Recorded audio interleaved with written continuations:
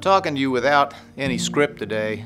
I guess that's fitting because there's no script for any of us in the changed environment that Purdue and this nation, the whole world, finds itself in. So the last week, just a whirlwind of the coronavirus and all these universities canceling, including Purdue. So we're moving from classes in person into online classes. I'm going home tonight and I'm not sure when I'm going to be back.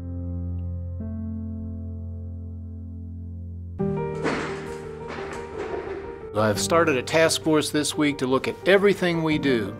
We'll look at how we teach, how we learn, how we house people, how we feed people. I am glad that Purdue made a decision and made one early so we had time to prepare for that. We've asked each student and community member to embrace the Protect Purdue Pledge. It is essential that we all adopt this strategy. I am behind the Protect Purdue Pledge. I'm behind the Protect Purdue Pledge. I've chosen to stand behind the Protect Purdue Pledge. I am behind the Protect Purdue Pledge. And I want to do my part. I pledge to help protect Purdue. I have faith that Purdue is going to do everything they can to keep us safe.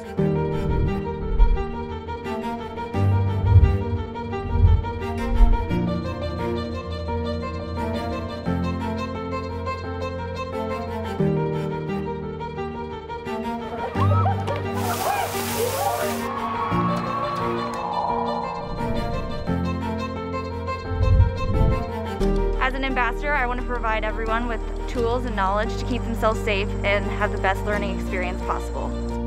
I have a lot of Boilermaker pride and I care so much about the Purdue community.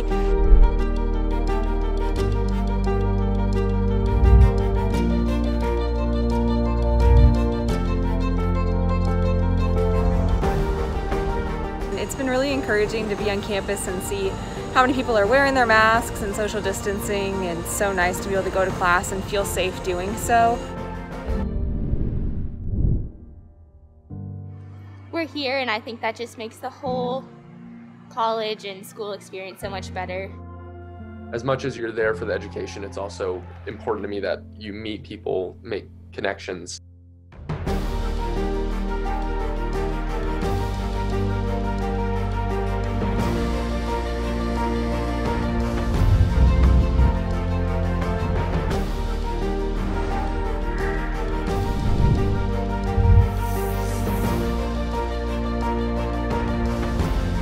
Know, life throws at you all kinds of things and you just got to roll with the punches.